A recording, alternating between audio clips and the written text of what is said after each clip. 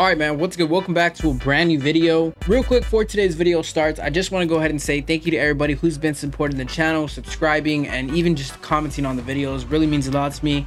Thank you guys so much. And if you guys do enjoy today's video, make sure to leave a like, comment, and subscribe to the channel, as well as share the videos. All right, so in today's gameplay, we're going to be taking a look at the RUS Street Legal. Now, this gun actually did receive a buff this season, and this is the blueprint we're going to be using with today's gameplay.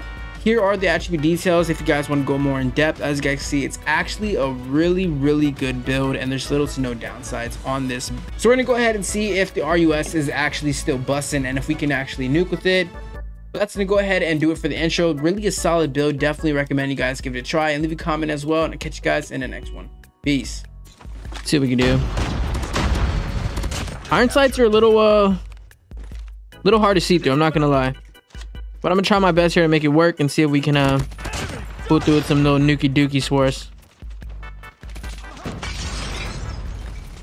See if I can get away from that. I really don't like that spot. It, it's very annoying. I did hear somebody. Oh. I gotta fall back. There's two on B, but I need to reload this gun.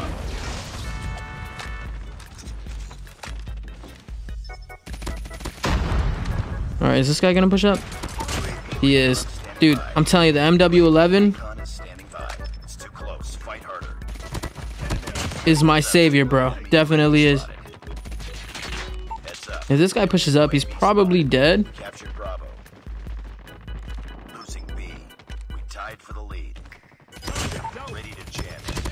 Oh, geez, there's two more. All right, we're getting the counter up. Pushing up. Definitely pushing up. Nice to know.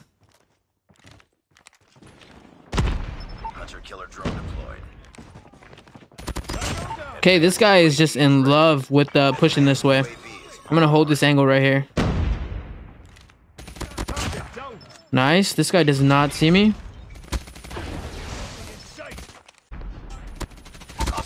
Oh, dude, we're so we're so short on ammo right now. I just gotta get this down. Nice. Get another trip mine down. Can't really make out where these guys are all the time. Oh, wait, wait, wait. Trip mine got another kill. Let's go. Positioning's here, so I'm going to see if I can rotate and change that. Let's go.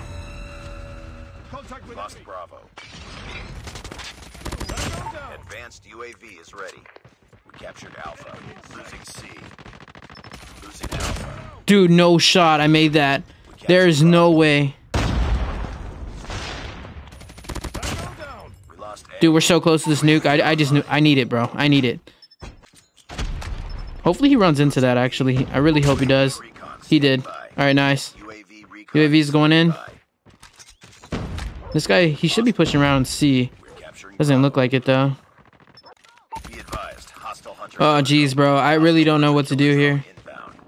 There's two of them.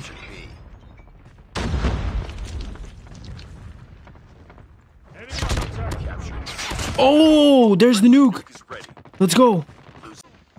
Oh, jeez. This guy does not see me. Wait, he can climb up here? Oh, what?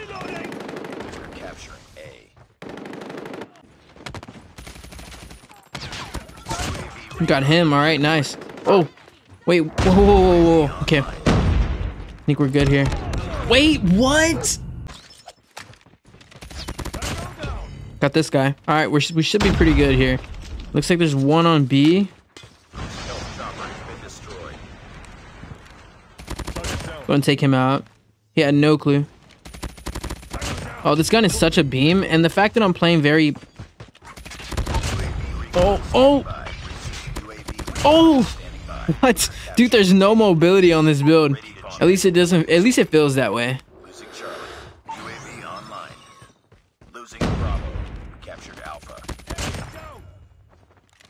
He got to be pushing it. No doubt in my mind he's not.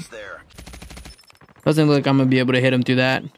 All right, I'm going to go ahead and call in the nuke because I know people were going to say, you know, the nuke has to drop in order to, to be a nuke gameplay. So that's exactly what we're going to do. Then we're going to kill this guy.